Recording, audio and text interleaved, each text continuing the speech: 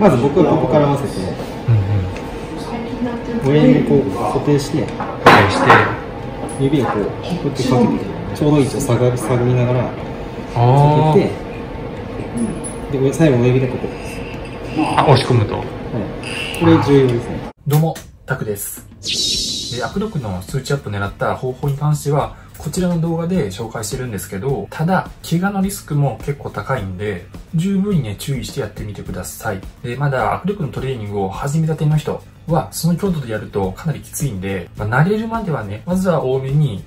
20回、ギリギリ切るぐらいの強度で、まあ、大体3セットぐらいかな、を目安にやってみるといいでしょう。で、セットとセットのセット間のインターバルの時間。これは長めにとってもらって、大体5分から10分ぐらい。それぐらいの時間とって、しっかりね、指と腕休ませて、何回かトレーニングして、スーパーグリッパーね、こう握り慣れてきたら、次は8回から10回ぐらいをギリギリ握れるぐらいの強度でやってみたり、5回前後とか、あとは1回だけギリギリ握れるか握れないか、まそれぐらいの強度で挑戦していくといいかと思います。ただね、こう握りたい欲とか強くなりたい欲とか、もうそういうのが強すぎて、もう欲に任せてこうやりすぎてしまうと、まあ、腱鞘炎とかなったりするんで、もう本当にね、やりすぎないように注意しながらやっていきましょう。はい、ってことで、今回の動画は以上になるんですけども、自分もね、今握力鍛えてて、今ね、100キロどうしても超えたくて、両方の手の握力が100キロ超えることを目標にやってます。トレーニング始めた時は確か右がね54キロぐらい。で、左が48キロぐらいだったかな。で、今の右の握力が Amazon で2000円ぐらいで売ってるあの安い握力計。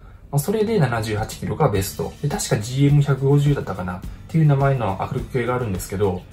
それだと82キロ。で、左は66.9。一回検証になってもそこからね、ずっと止まってます。GM150 の方で72キロ。まあ、そんな感じで自分で握力のトレーニングを実践しつつ、で、その過程を見せたりとか、まあ、伸びた時にこう、どういうトレーニングをしてたのかとか、そういう動画を上げてるんですけど、これからもね、握力関連で、まあ、いい情報があれば、このチャンネルでシェアしていくんで、少しでも気になる方は、ぜひね、チャンネル登録よろしくお願いします。あと、この動画が良かったら、高評価もね、よろしくお願いします。ということで、ご視聴いただきありがとうございました。じゃあ。